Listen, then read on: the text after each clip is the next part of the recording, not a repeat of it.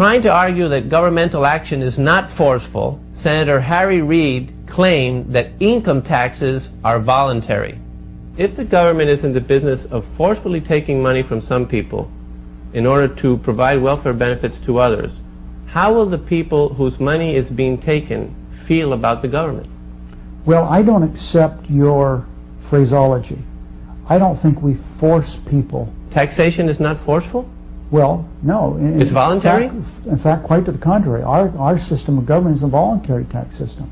Oh, if you don't want to pay your taxes, you don't have to? Oh, of course, you have to pay your taxes, but Well, the government will force you to pay or they'll fine you or imprison you. we, they we, not? have, we have a voluntary system. Uh, this, the fact of the matter is that if uh, uh, when you pay your taxes, you see, in many other countries it's not voluntary. For example, in, in many countries, the government makes sure that your employer takes out every penny. Many countries don't file income tax returns. We have Why? withholding here too, don't we?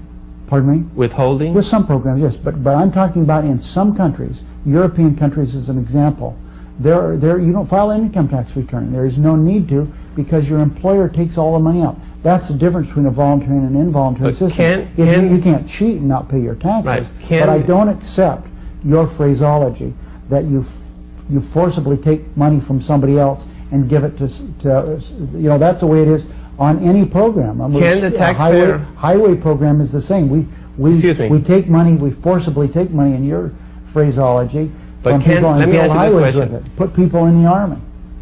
Can the taxpayer decide not to pay his taxes if he wants? He can he can not pay his taxes. What will He be the- what will to civil- happen? he- he's subject to civil and criminal penalties. They'll put him in jail. They use force against him. He, he pays, everybody pays taxes under threat of jail or fine, uh, under threat of force. In other words, you are forced to pay your taxes. Whether you fill out your form voluntarily or whether it's withheld by your employer, you don't have a choice on whether you can pay taxes that are going to be used for welfare programs.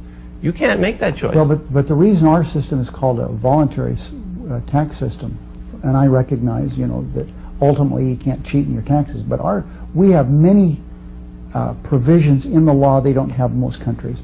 We have deductibility for home, interest on mortgage payment. They don't have that in most countries.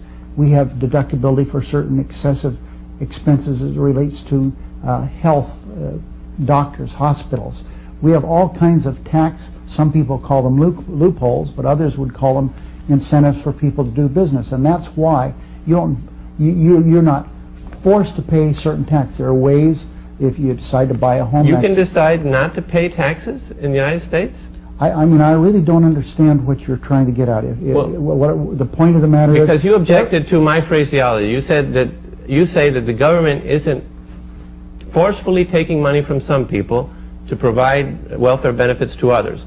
And in fact, that's what it's doing because all taxation is forceful. It's backed up by physical force. If you don't pay your taxes, the government will intervene with you forcefully. So you don't have a choice. It's not voluntary. You can't decide not to pay and not suffer a consequence. If you don't pay, you'll go to jail. Well, you- so you you're forced to see, pay. You don't, you don't go to jail. Some people go to jail. There are all kinds of civil penalties. If you don't pay your taxes, you pay interest and you pay penalties. The fact of the matter is, our system is a voluntary system.